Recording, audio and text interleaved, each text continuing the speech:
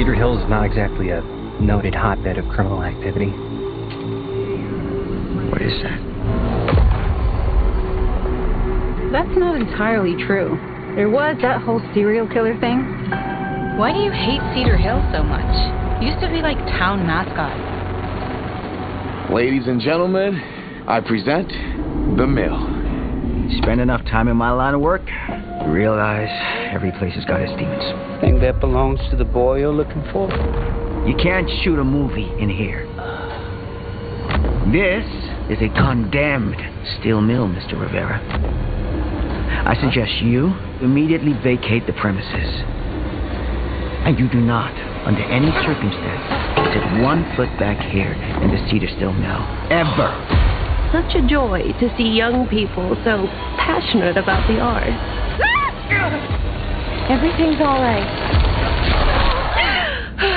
Either of you heard of Murder Mill? No! No! There was a whole string of disappearances. Kidnappings, really.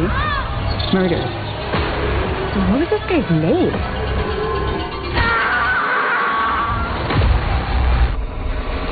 I don't think the police ever found this place. Whoever did this might still be here. We can't stay, okay? We gotta go.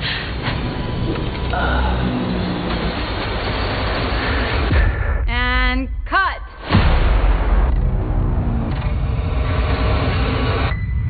When you make dangerous cinema, you walk a dangerous line.